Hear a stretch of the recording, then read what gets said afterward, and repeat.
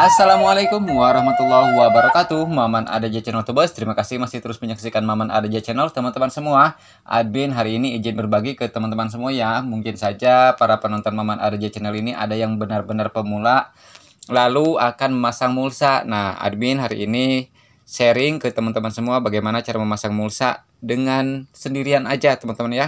Enggak pakai teman ya kita memasang musa sendirian aja apakah bisa? Yuk kita saksikan. Nah untuk yang pertama kita buat seperti ini teman-teman ya ini untuk patok yang pertama yaitu patok kiri kanan ya.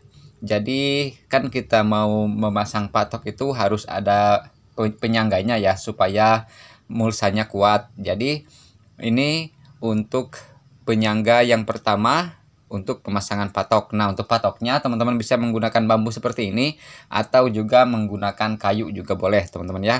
Asal patok yang penting bisa kita gunakan untuk menahan mulsa di bagian ujung ya. Jadi ini untuk ujung ke ujung ya. Nah, teman-teman juga siapkan penjepit ya. Penjepit ini bisa menggunakan bambu seperti ini, teman-teman ya.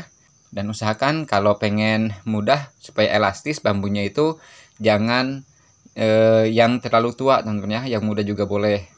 Nah untuk penjepitnya. Atau teman-teman ngambil dari jauh-jauh hari misalkan 15 hari atau satu minggu. Jadi lebih elastis nantinya ya untuk penjepit mulsanya.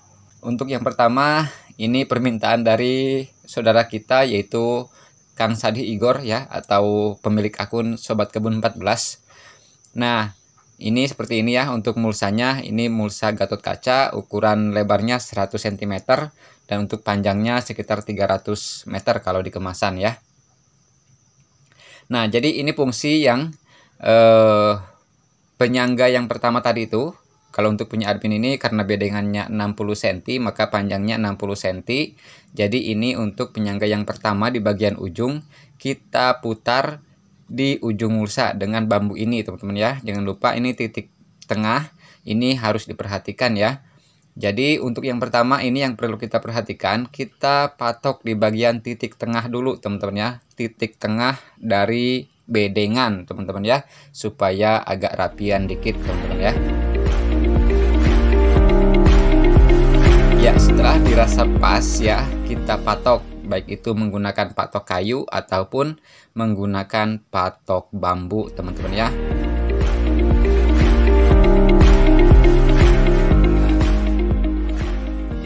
Nah, karena punya admin ada patok kayu, kita menggunakan patok kayu dulu teman-teman ya supaya lebih kuat. Dan untuk pemukulnya bisa juga menggunakan kayu teman-teman ya, nggak mesti dengan batu seperti ini. Yang penting patoknya kokoh ya. Kita pukul baik itu menggunakan batu, menggunakan kayu, menggunakan bodem juga boleh teman-teman ya, asal kuat ya. Nah, ini yang pertama yang perlu diperhatikan supaya kokoh kita patok bagian tengah dulu teman-teman ya ini penting ya bagian penting yang harus kita perhatikan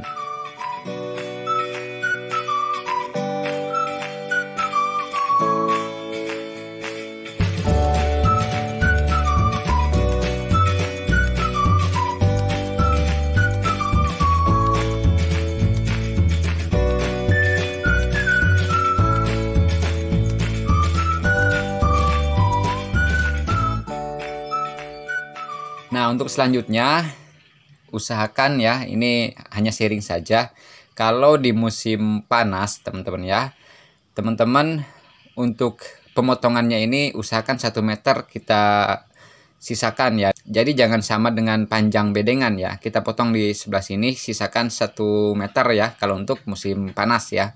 Kalau musim hujan setengah meter juga boleh. Karena kalau untuk panas itu memuai ya si plastiknya ini elastis jadi kita bisa tarik teman-teman ya.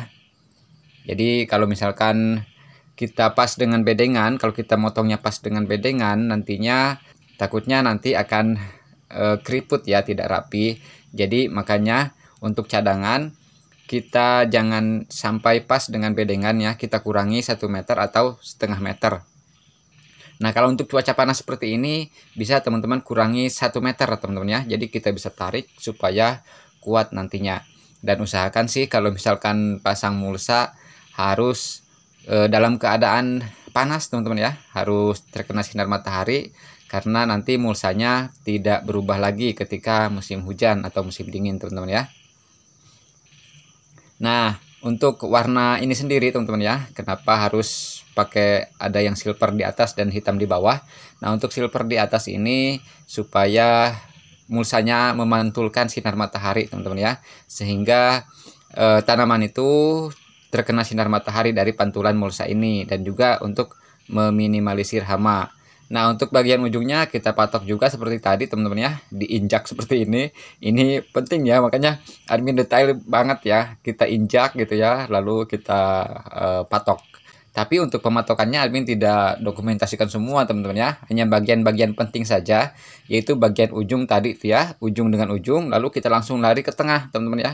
Karena kita masang mulsanya ini sendirian, maka dari ujung ke ujung langsung kita ke tengah ya untuk bagian yang ketiganya untuk patok yang pertama tadi bagian ujung sebelah sana lalu kita yang kedua bagian ujung sebelah sini lalu kita langsung lari ke tengah ya teman-teman ya. Kita patok bagian tengah langsung ya.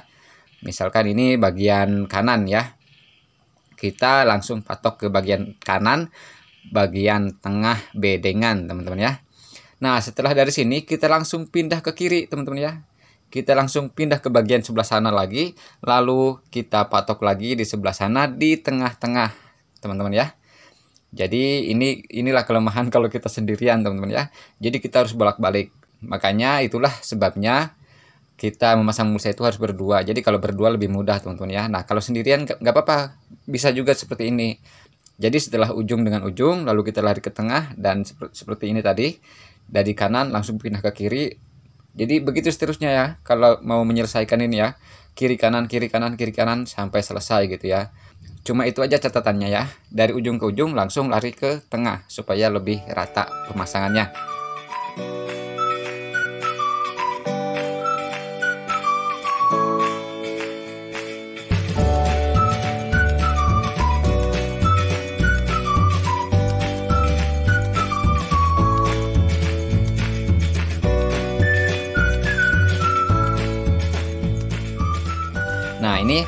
Salah satu yang admin dokumentasikan untuk bagian sudut, teman-teman ya, karena ini yang pentingnya. Untuk bagian sudut kurang lebih seperti ini cara pasang penjepitnya, teman-teman ya. Nah, seperti ini diinjak juga boleh, ditimpah dengan tanah juga bagus, teman-teman ya, supaya lebih kokoh.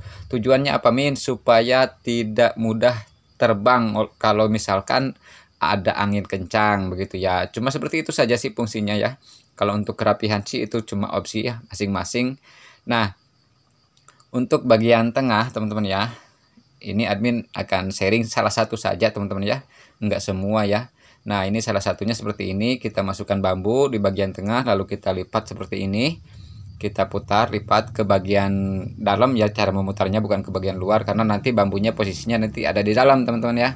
Nah, kita seperti ini, kita putar seperti ini, kita lipat. Nah, diinjak juga boleh nih sebetulnya teman-teman ya kalau misalkan pakai tangan juga nggak apa-apa ditekan pakai tangan seperti ini lalu kita masukkan patoknya. Nah seperti ini teman-teman ya. Kalau media tanamnya bagus mah mudah ya. Tinggal dicolok aja pakai tangan. Tapi kadang-kadang memang mentok ke batu teman-teman ya. Nah kadang-kadang ada batu di dalam media tanam kita lalu kita bisa pukul dengan batu atau dengan kayu teman-teman ya, supaya masuk jepitannya Nah, ini ada dua versi untuk penjepitnya teman-teman ya. Yang tadi itu dengan patok, yang satu dengan seperti ini. Ini juga bagus. Ini untuk e, lebih kokoh lagi teman-teman ya, supaya lebih kokoh lagi supaya tidak mudah lepas ya. Nah, seperti ini. Kalau media tanamnya bagus, mudah ya tinggal didorong pakai tangan saja seperti ini bisa kokoh teman-teman ya. Ya, teman-teman, seperti itu sharing dari Maman Adeja Channel. Eh, mohon maaf ya, ini bukan menggurui, ini hanya berbagi saja. Mungkin saja teman-teman mau memasang mulsa, tapi kebetulan teman-temannya pada sibuk gitu ya, saudara-saudaranya pada sibuk, jadi terpaksa harus memasang sendirian. Jadi kurang lebih seperti inilah cara memasang mulsa kalau sendirian ya. Tapi kelemahannya kita agak lambat dalam pengerjaan karena kita sendirian teman-teman ya. Oke teman-teman, seperti itu sharing dari Maman Adaja Channel dan untuk pemula ini ilmu yang sangat bermanfaat sekali teman-teman ya. Dan salam kepada Kang Sadi Igor seperti ini untuk mulsa Gatot Kaca yang admin beli ya untuk lebarnya 100 cm untuk panjangnya 300 meter. Dan mulsa ini dipasang ke bedengan 60 ini pas ya Alhamdulillah pas. Kalau misalkan untuk e, lebar bedengannya 80 cm juga sepertinya bagus juga ya Kang Sadi ya. Oke teman-teman terima kasih sudah menyaksikan video ini. Semoga video ini bermanfaat. Wassalamualaikum warahmatullahi wabarakatuh. Salam hijau